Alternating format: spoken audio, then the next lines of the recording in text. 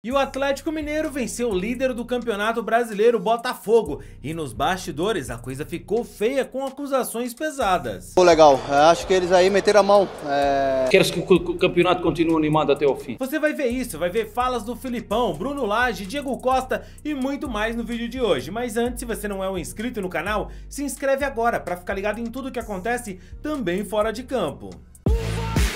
Quer mudar, vem cá, vem cá, vem cá. Logo após o jogo, o Bruno Lage disse que acha que estão fazendo de tudo para o campeonato ter emoção. Noutro tipo de jogos e que dá a sensação que, que, que não se quer que, quer-se que o campeonato continue animado até ao fim. Já vi muitos lances de outros vários e noutros jogos de um critério completamente uh, absurdo e, e como estão, quando chegam depois a, a, ao, ao que aconteceu nos últimos dois jogos, e que nos tem prejudicado e prejudicou-nos desta maneira. Por isso estamos aqui, estou aqui eu também, não me esconder, antes pelo contrário, eu quis vir fazer este, este, este, este, este início e fecho com, com esta questão da arbitragem porque uh, o VAR, penso eu, que veio para, para, para ajudar, quer aqui, quer noutro, em qualquer outra parte do mundo e lamentavelmente têm acontecido muitos erros. E não é, não é só nos nossos jogos, não é só nos nossos jogos. São noutros jogos que, de alguma forma, tem contribuído para que a classificação continue até, até equilibrada. Muitas coisas duvidosas, de lances uh, inexplicáveis que têm, têm beneficiado e prejudicado uh, equipas e que permitem neste momento estarmos na, na classificação. E até o gramado da partida foi motivo de discórdia, com o Bruno Lage achando uma coisa e o Felipão outra. Andamos a jogar uh, nesta relva que a prioridade foi fazer um, um show num estádio lindíssimo. O estádio faz lembrar estádios do, dos melhores países europeus, estádio lindíssimo, e nesta relva, nesta, nem sei se pode chamar, se pode chamar relva, condicionas e condicionas muito quando o nosso jogo é de toque, de passe e de velocidade, em que a bola uh, trava muito e salta muito. No Laje colocou grande parte da culpa pela derrota hoje na condição do gramado do estádio. O quanto que a condição do gramado influenciou suas escolhas para a partida de hoje? Gramado? Gramado tava muito bom, cara. Não sei. Então, quem, quem falou do gramado? O técnico do Botafogo, Bruno Lage. Quem? O treinador do Botafogo, Bruno Lage. Não, então eu não me meto mais. Tá bem. Se, se esse gramado tava ruim, então nós vamos jogar é, é no céu, pelo amor de Deus. O Filipão, claro, também deu um show falando sobre zagueiro tem que ser mal. Se liga nessa. Mas eles estão. Aquele que nós colocarmos, se colocado e jogado daquela forma que treina, nós estamos satisfeitos. Hoje o, o Bruno jogou de novo muito bem. E o que eu quero cobrar do Bruno e exijo do Bruno no dia a dia é que ele seja mais.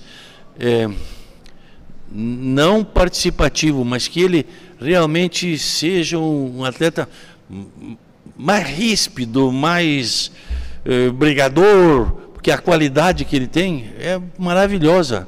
Mas precisa, zagueiro tem que ser mal. Oh, zagueiro bonzinho vai para o céu, eh, entendeu?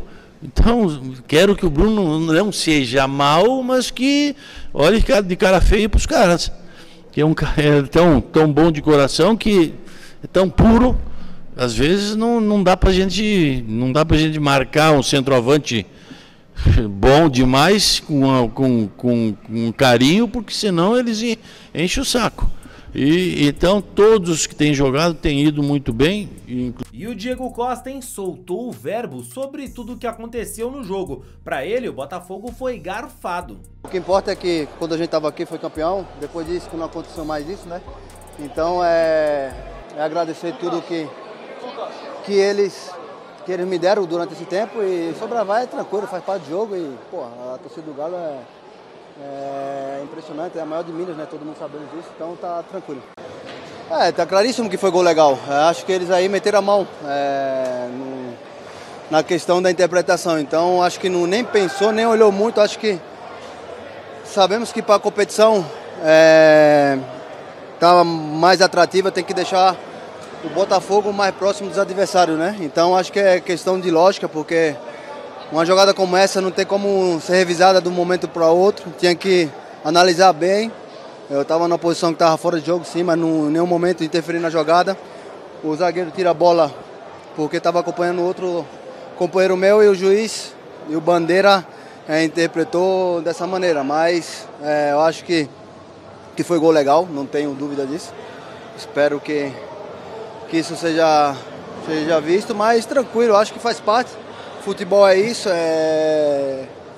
a gente tem que saber que estamos no momento que tem que ir contra todos, né? É Botafogo, Botafogo e Botafogo contra os demais. Então, é, cabeça erguida está mais unido que nunca, porque nessa, nessa luta vamos estar tá só. É nós e os torcedores e os companheiros aqui dentro. É, meus amigos, o Botafoguense não tem uma semana boa, até pelas declarações do Luiz Castro. Você viu? Pois é, o cara falou poucas e boas sobre a torcida do Botafogo. O processo de sair para o Botafogo e ir para o Al Nasser foi a decisão profissional mais difícil da sua, da sua carreira, mister? Ou não? Foi. Foi. O Botafogo para, o Nasser foi uma decisão muito, muito, muito difícil. Muito, muito, muito difícil. Muito difícil. Eu tinha uma.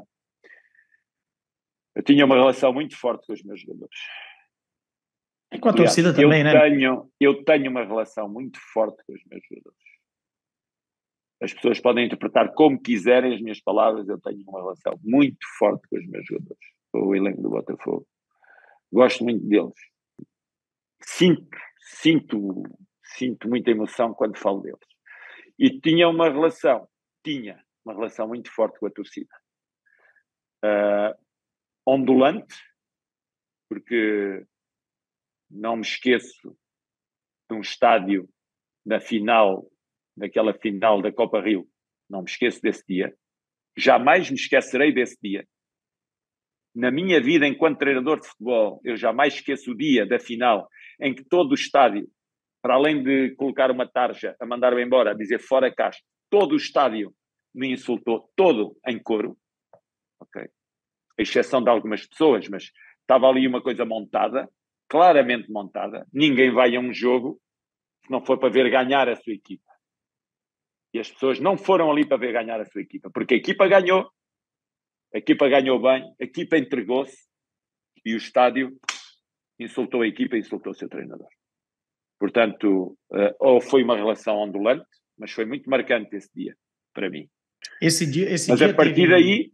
Esse dia teve, teve peso teve na tua impacto, decisão? Teve impacto, teve impacto, teve impacto. Teve impacto, sim, teve impacto. Não vou dizer que não, não sou hipócrita. Teve impacto. Assim como não sou hipócrita a dizer que a vida para o Nasser, na minha perspectiva, foi um salto na carreira para um patamar para trabalhar com jogadores de seleção, e se eu um dia quero uma seleção nacional, eu tenho que ter no meu, no meu currículo ter trabalhado com jogadores de seleção. E eu quero um dia, quero um dia, tenho como objetivo um dia chegar a uma seleção. Mas e aí, você acha que o Botafogo tem que ficar preocupado? O título tá em risco ou não? Tudo isso é só uma oscilação normal, mas o Botafogo ainda vai ser campeão. O que você acha? Deixa aqui nos comentários, não esquece do like no vídeo. Eu fico por aqui, valeu e tchau, tchau.